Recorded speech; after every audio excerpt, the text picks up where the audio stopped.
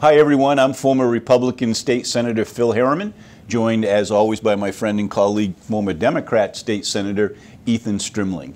Ethan, let's talk a little inside baseball today. Uh, recently, a Freedom of Information process revealed that uh, your state senator, where you live, uh, Justin Alfond, introduced legislation verbatim as written by a special interest group, the wind energy folks here in Maine.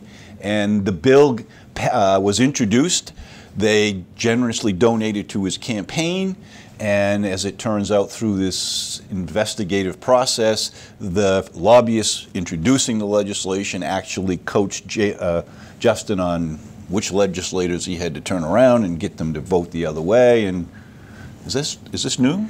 Well, you know, it, it's pretty extensive, and clearly they should have been more careful in terms of how they were doing this for sure. Uh, you know, I never dealt with a corporation or lawyers or special interests that were sort of this involved in a specific piece of legislation like that. But let's be careful to make sure that we don't just say that this is, uh, you know, uh, an, one example, because it does happen a lot. And unfortunately, lawyers and businesses have a lot of influence on the legislature, especially lobbyists. They're the ones who have been there the longest with term limits. We see a lot of turnover.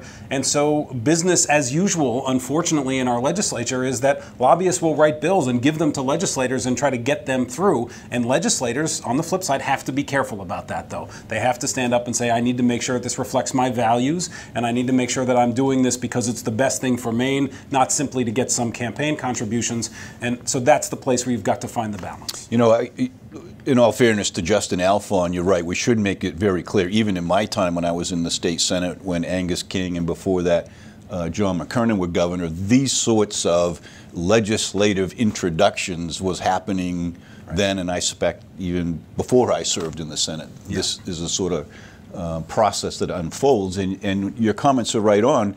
Legislators, particularly now that the session has begun, I'm told there's over 1,550 new pieces of legislation that will be uh, introduced to the legislature this session. They got to be careful that they're not in a situation as we've right. just described. Right now, most of them are just titles. So they're actually being written as we speak. So let's hope that legislators are a little more careful next time and make sure that they don't just put stuff in verbatim what somebody else wants.